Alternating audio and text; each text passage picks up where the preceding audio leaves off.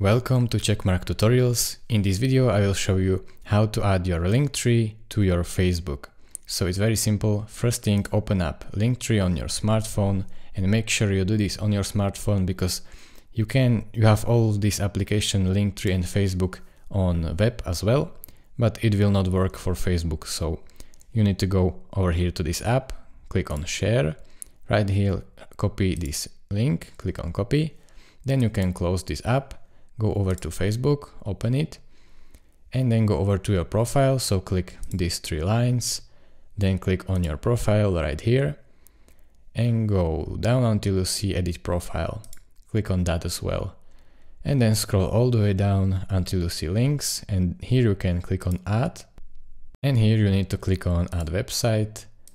And here you can paste the link that you just copied and then simply, if you don't want it, you can remove it. If you want to keep it, then just press save to make sure that it is saved, then go back. And as you can see, your Linktree uh, link is now here. You can even open it, for example, with Chrome or any browser that you want. And now as you can see, this link is working and it's really this simple guys. Just make sure you are doing it on smartphone because on desktop, desktop Facebook, you cannot add links to your profile. So thank you guys for watching. If this video was helpful to you, consider subscribing and liking this video. And I will see you in the next tutorial. Bye bye.